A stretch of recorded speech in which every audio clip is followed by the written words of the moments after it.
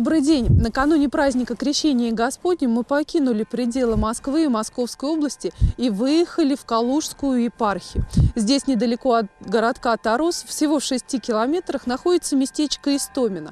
Когда-то здесь располагалась известная усадьба графов Толстых. Они были первооткрывателями этого места. Здесь же они и построили храм в честь Успения Божьей Матери еще в XVIII веке, в 1725 году. Храм просуществовал, продействовал до 70-х годов 20 века. Потом пришел в полное запустение. И вот сейчас с приходскими традициями, как раз с рецептами э, приходской трапезной мы хотим вас познакомить. Ну а также показать, какие здесь созданы купели и как устраивается Иордань.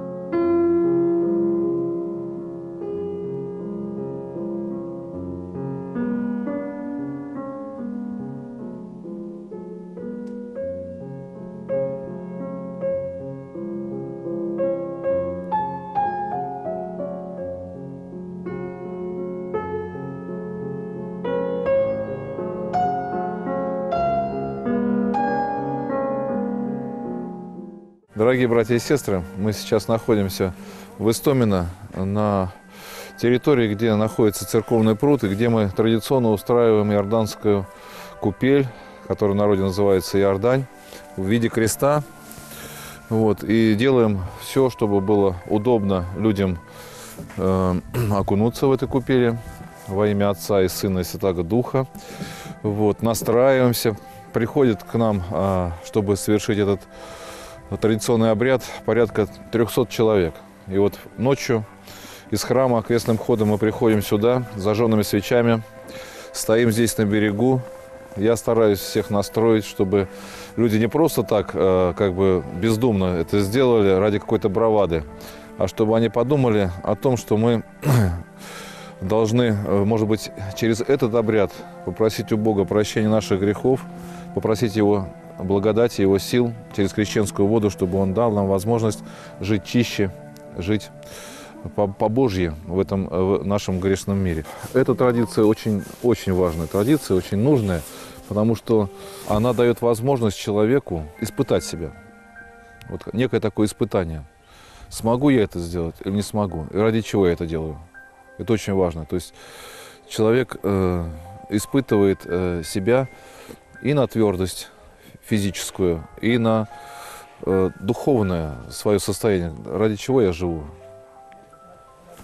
Понимаете, это очень важно.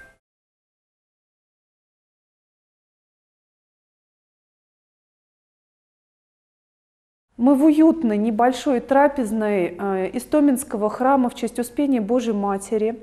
И э, существует эта трапезная около пяти лет, и на этом приходе Э, как бы старые новые традиции всегда существуют, и их очень поддерживает настоятель храма отец Андрей. И вот он нам делегировал рассказать о некоторых традициях, благословил, правильно? Да. Надежду Александровну, вы тут прихожанка, да. как я понимаю, да? да? Давно ходите? Тоже давно, с 2010 года. Все вы общаетесь здесь за трапезой. Другая ваша традиция приходская – это все время вы ездите в паломничество. Да, поездки. Для чего вы ездите и куда? Ну, я так скажу о себе, что я езжу, чтобы познакомиться со святыми местами. Потому что много вижу, много читала, а быть не была. К моему, к сожалению, конечно, что вот уже в таком возрасте я нигде не была. И поэтому для меня это, ну, очень так Мир большой? Мир, не, не, не мир даже, а духовный мир. Мир-то я по, в мире-то побывала, везде поездила, это по, понятно за свою жизнь. А вот в духовном-то мире я была мало. И поэтому я сейчас как бы наверстываю это. И география ваша какая? География, ну так, пока по центральной России. Дальше я еще пока не ездила. Поедем а, ли мы по Руси? Да, по Помните? Руси. Дай Бог, даст Бог, поедем. И вот обычно всегда, как нам сказали, сообщили, что вы все время что-то готовите. Ну да, стараемся. Чтобы, чтобы взять с собой. В дороге было удобно, быстро и в то же время питательно, так скажем. Все равно все-таки в дорога, дорога дальняя бывает, Дивеево, например, ездили, все равно далековато. Ну и поэтому мы готовим Самое простое это бутерброды. Ну, Все мы у вас- готовим из своих продуктов, сами мы их заготавливаем. В летний период, э, естественно, что хватает работы на своих участках. И еще у нас участок есть при храме, вот здесь. э, Тоже работаете? Ну, мы здесь, да, сажаем что-то для храма, выращиваем. Слава Богу, в этом году картофель очень хорошо и богатый урожай вырастили. Вот, и вот, значит, э, вот это у меня икра кабачковая. Сами не- делали? Она немножечко, да, необычная икра, как вот магазинная покупают. У меня даже как некоторые прихожанки, которых я угощаю, они говорят, ой, Андерсон, у вас очень вкусная икра. А, тоже по рецепту, правда, это я еще с работы рецепт узнала от наших э, моих коллег. Так вот, э, значит, сюда добавляется еще майонез и Томатная паста? Томатная паста, да. Помидорка желательно, она как-то более надежно качественная.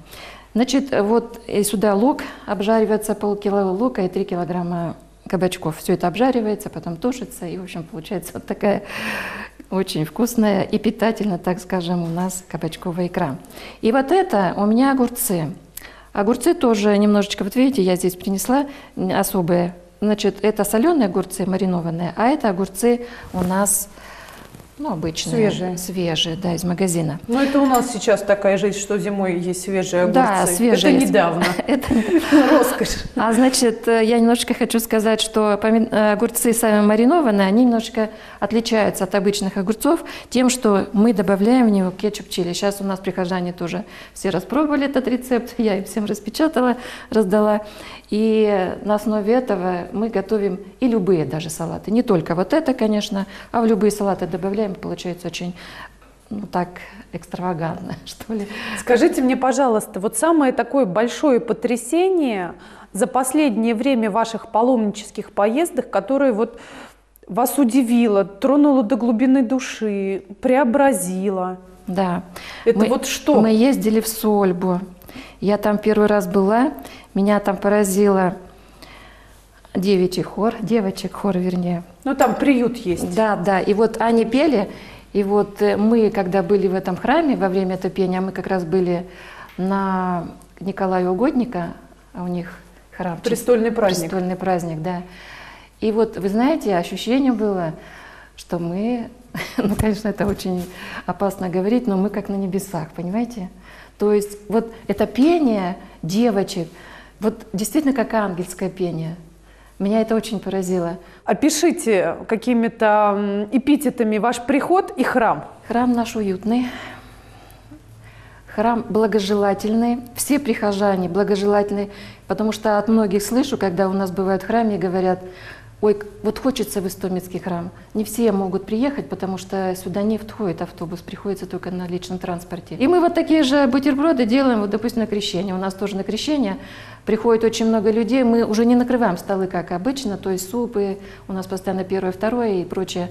А у нас печем пироги просто, приносим сюда, раскладываем их, разрезаем, чайники ставим, термосы, все это. Люди приходят, когда после купания сюда заходят, и они, значит, погреются, покушают. Ну и когда очень много людей, мы уже тоже быстрее стараемся что-нибудь, чем-то их угостить. Это самое простое, очень быстрое угощение. Спасибо вам большое. Пожалуйста.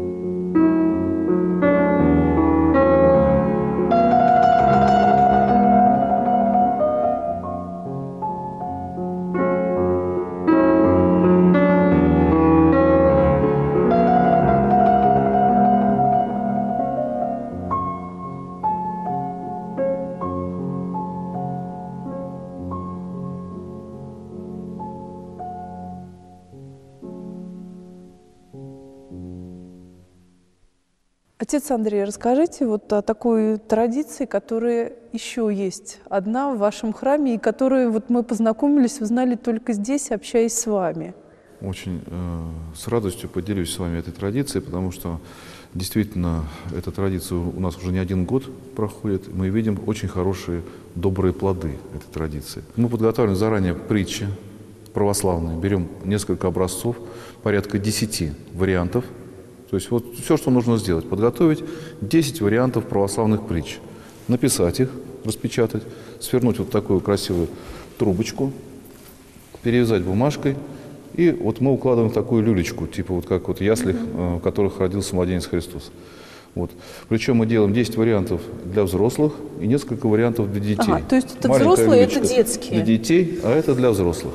Что, э, предполагает, это, что предполагает эта традиция? Значит?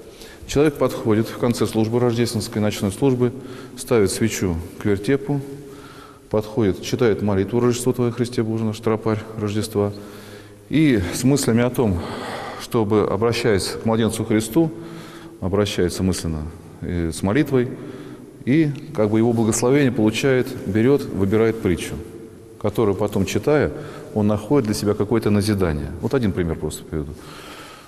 Значит, женщина плачет после того, как прочитала притчу. Я подхожу, спрашиваю, в чем дело. Она говорит, представляете, вот мне такая притча попалась. Значит, э, я сейчас расскажу саму притчу. Берег моря. Маленький мальчик э, бросает э, в воду морскую, морских звезд, которых просто миллион выбросило на берег, и они погибают. И он подходит, наклоняется и бросает морскую звезду, звезду в воду. Подходит некий человек к нему и спрашивает, что ты делаешь? Он говорит, я бросаю эти морские звезды в воду. Он говорит, зачем ты это делаешь? Если я их не брошу, они погибнут. Ты занимаешься безумием, потому что их миллионы, ты всех не спасешь. Тогда берет маленький мальчик одну из морских звезд в свои руки и говорит, это не безумие, потому что я спасу, вот, вот для этой звезды это будет спасение. И бросает ее в воду. Я говорю, а почему вы плачете? Потому что она говорит, ну вы представляете, я занимаюсь детским домом, помогаю детям, чем могу. Вот. И недавно совсем муж мне сказал, прекрати заниматься этим безумием, ты всех не обогреешь, ты всех не накормишь, ты всем не поможешь. Понимаете? Вот как вот ей досталась такая притча. Представляете, вот он, именно ей досталась такая притча, что э, созвучно для нее. И она, я думаю, укрепилась от того, что, прочитав эту притчу, поняла, что Бог хочет укрепить ее в, в том добром деле, которое она совершает в своей жизни. Это только один пример, а таких примеров просто много. Я считаю, что это не трудно сделать, это не сложно на самом деле. Подобрать притчи, положить их. И я вам хочу сказать, я вас уверяю, просто люди счастливы. Вот счастливы. Они берут притчу, читают, счастливы. Это просто вот ни один человек еще не подошел, не сказал, что мне что-то не то попалось. То есть вот каждому действительно находится ответ на его какие-то вопросы. Во Иордане, крещающийся Тебе, Господи, Троическое явися поклонение, родители по глаз свидетельствовавши Тебе, возлюбленного Тя Сына именуя, и Дух в виде голубине, известовавши словесе утверждение, явлеся Христе Боже, и мир просвещай, слава Тебе. Хочу поздравить всех с праздником Крещения Господня, пригласить всех к нам. У нас бывает здесь очень хорошо, потому что после того, как мы окунаемся, мы идем в церковный дом, и там у нас чаепитие. Мы пьем горячий чай, общаемся друг с другом. Вот. И э, желаем всем, кто в эти дни приобщится к этой традиции, здоровья. Желаю, чтобы люди правильно исполнили эту традицию вот, и получили благодать Божию.